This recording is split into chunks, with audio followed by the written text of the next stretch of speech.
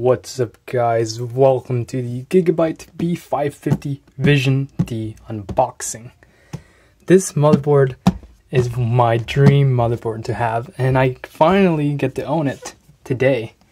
I ordered it from Amazon, uh, links below, for $259 which is its retail price. It supports ECC memory, PCIe Gen 4, of course, it supports the latest 5000 series processor, so and uh, it has dual Thunderbolt 4 ports, which is insane. Right here, as you can see in the I/O. Anyways, let's go ahead and open. All right, there we go. Wow, I love this. And then there's the installation guides, nice booklet, comes with a CD, and then uh, everything else you need to know in here. What I like is the cover. It's shiny and it feels really nice. And underneath, you get temperature sensors, two of them. You get SATA, two of them too, and then a RGB extender cable. And um, these are the Wi-Fi antennas. So uh, pretty standard. Um, hopefully it's magnetic. Yep, I just confirmed it is magnetic. And I love the white color. So here is what that looks like.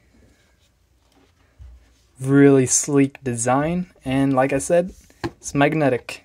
So you can attach it to the side of your PC or whatever you want. And the last thing is a six connector.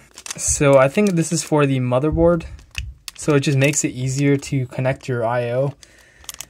Um, your power button, your power LED, etc. So you don't have to fiddle around on the motherboard. You can just plug it into here. And then this plugs into the motherboard directly. So here is the board. All right, here's a better look. This is metal.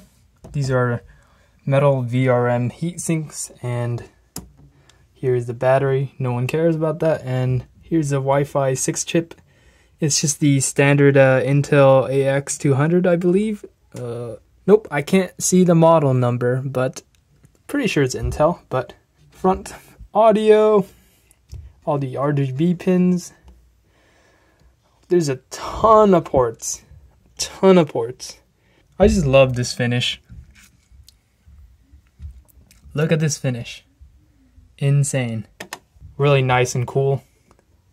And of course, these still have protective uh, peels that I can peel off.